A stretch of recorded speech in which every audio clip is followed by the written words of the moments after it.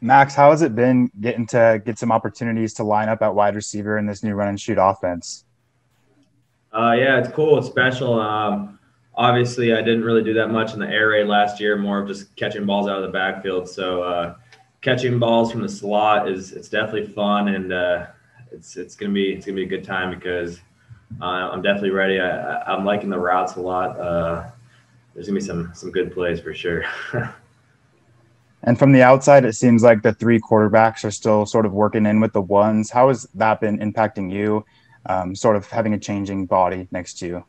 Yeah, uh, obviously you got to just know every guy's strengths and weaknesses so you can rally around them. And uh, yeah, today uh, it's been it was a mix of quarterbacks for for all my drives. So I think overall they all had a decent day, but there's still a lot of room to improve in, in many spots. Thank you. Joe McHale, go ahead. Max, uh, Coach Rolovich said a little bit ago that the offense seemed to take a step back this scrimmage compared to last week. Uh, just from your perspective, what did you see out there today uh, that n- needs to start improving?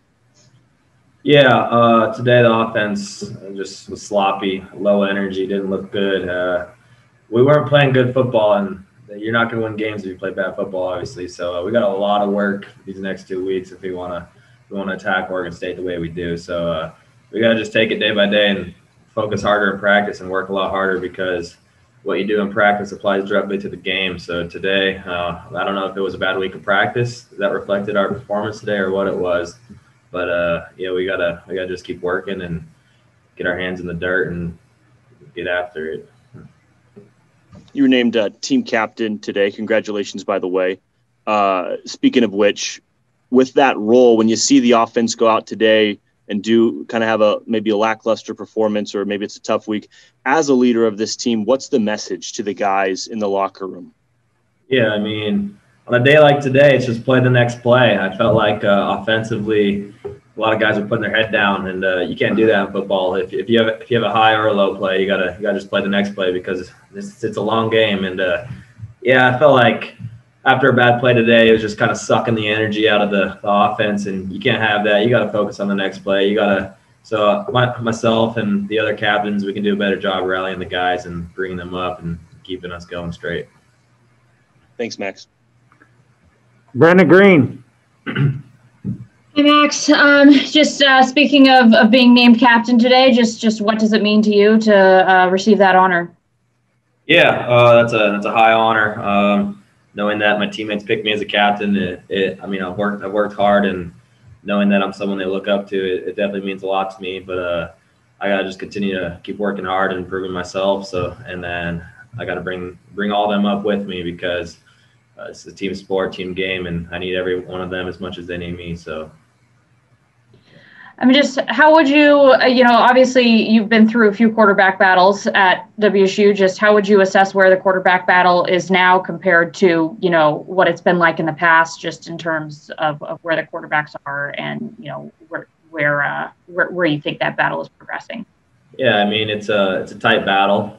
Like I said last time you guys talked to me, uh, it's close, and some guys are having good days, and other guys are having bad days. Uh, I think today, Jayden had a better day than Cammon and Gunner, and uh, but that doesn't mean tomorrow Jayden can't have a worse day. So it's it's a day by day thing, and it's it's going to be a tough choice for these coaches, and I know that, and I know whoever whoever we go into the game game one with, uh, he's gonna be he's gonna be ready, and we're we're excited, and we have his back, and whoever it is, we're we're gonna we're gonna rally him, and has play. it been like this for you in the past where there is uh, where the quarterbacks are still so close, um, this close to, to game time, or is this a different experience for you?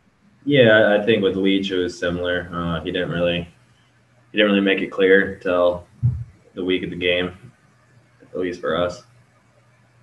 Was that surprising last year, by the way, that Leach came out and did name a starter? Because normally he, he doesn't do that. So that was kind of different last yeah, year. Yeah, it was a little bit different. I know with, I think it was with Gardner, it was a little bit later. Um, yeah, uh, I think there's pros and cons in picking your starter earlier. I mean, your team and your starting offense can rally around that guy quicker and get used to him and his reads and all everything he does. But uh, obviously, keeping the battle going and strong is always a good thing too, as it keeps keeps guys competitive and playing their best. would you rather know a starter sooner rather than later, or do you think that it's going to be a situation where you're probably not going to know it until until right before the game? Yeah, I mean, whatever's best for the team, but for me personally, probably probably working with the starter sooner or later would be good. Just just to get those reps with him, um, get him comfortable, get comfortable with him. I know all the wide receivers as well would want to get comfortable with whoever the guy is because each quarterback's a little bit unique in their own way. So I think picking a starter earlier has has more pros than cons in my opinion. Thank you. Theo, go ahead. Hey Max, how has Jamire Calvin kind of adapted to, to, to, the outside receiver spot, and what's it like to, to just see him on the field again for, for the first time really since the Alamo Bowl two years ago? Yeah, I almost forgot how good of a stud he is. I mean, that guy's he's electric to say the least. Uh, seeing him at the outside is different. I mean, in the past, at least with Leach's air raid, we really only had big bodies out on the outside, and Jamire is obviously a smaller guy, but uh, I think I think it complements him well. He's he's fast and he's quick and he, has been making a lot of plays. So I'm really excited to see him uh, finally get a chance to go back on the field and make some plays again for the Cougs. We've talked a little bit the the, the, the last couple of practices uh, uh, with Coach Rolovich about the leadership council. And uh, obviously, he, he, kind of named the 17 guys yesterday. What, what's kind of the significance of that group, and what's it mean to be a part of that group uh, this year? Yeah, uh, it's definitely different than anything we did in the past.